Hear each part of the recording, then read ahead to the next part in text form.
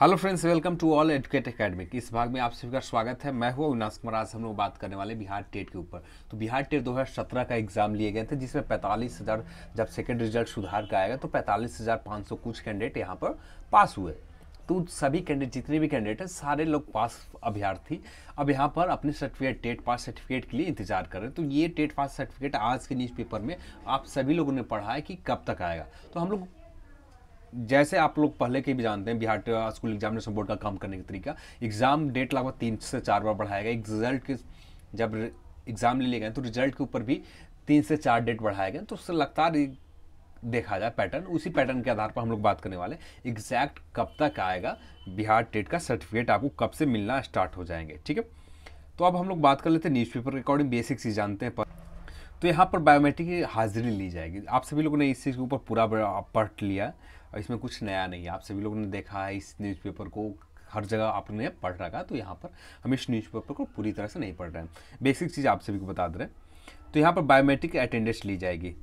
तो biometric attendance उन candidate को दिक्कत होगा जो अपने जगह पर किसी और कैंडिडेट को, अपने जगह पर किसी और को बैठा रखा था एग्ज़ाम में, उनको दिक्कत होने वाली है यहाँ पर। और जो लोग सही है जेनविन है जेनविन कैंडिडेट है, उनको कोई दिक्कत नहीं होने वाला।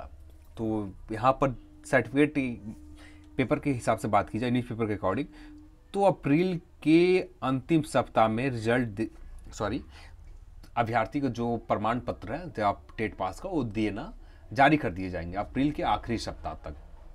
तो जब जारी किए जाएँगे, उस समय आपको बायोमेट्रिक अटेंडेंस लिए जाएँगे, उसके बाद ही ये आपको सर्टिफिकेट दिया जाएगा। तो अब हम लोग बात कर लेते हैं पुराने पैटर्न क्या।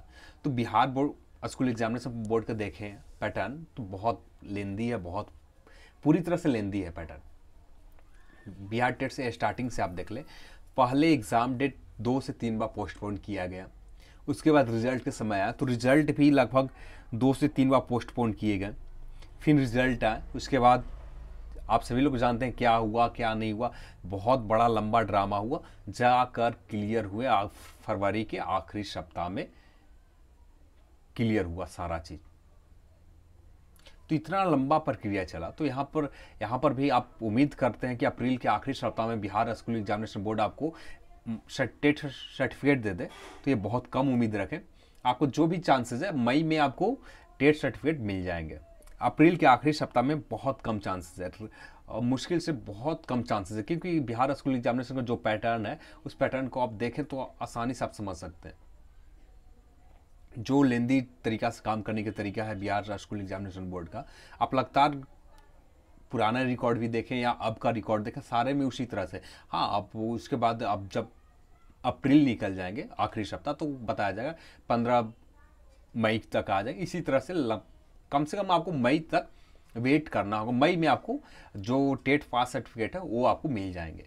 ये पूरी तरह से कन्फर्म जो आज महासभा बुलाया गया था, जो सभा बुलाया गया थे गांधी मैदान में, और उसमें निर्णय लिया गया कि रिज़ल्ट जो सर्टिफिकेट है, टेट पास सर्टिफिकेट वो जल्दी देने के लिए निर्णय लिए गए और उस पर बोर्ड को दबाव देने के लिए। तो बोर्ड पर दबाव रहता है तो आपको मई में सर्टिफिकेट मिल जाते हैं, और नहीं दबाव रहते हैं तो मई से आगे भी निकल सकता है। तो जो दबाव बना है तो वो दबाव बने रहेंगे तो इसके वजह से आपको जो सर्टिफिकेट है, आपको अप्रैल सॉरी मई महीने में आपको मिल जाएँगे।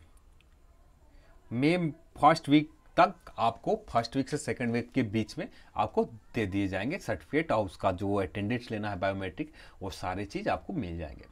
तो चलिए, इस वीडियो में आज हम लोग बात किया, इसी बेसिक सी जानकारी ली और यदि आप कुछ पूछना चाहते हैं तो कमेंट सेक्शन में पूछ सकते हैं। यदि आपको ये वीडियो पसंद आया तो लाइक कीजिएगा शेयर कीजिएगा और चैनल को सब्सक्राइब नहीं कर रखा सब्सक्राइब कर लीजिएगा। एडुकेशन से रिलेटेड सारी जानकारी आपको यहाँ मिल जाती है सो प्लीज़ सब्सक्राइब चैनल यदि आपको ये वीडियो पसंद आता है लाइक कीजिए। चलिए इस वीडियो को देखने के लिए आप सबको बहुत बहुत धन्यवाद। जय हिंद, जय भारत।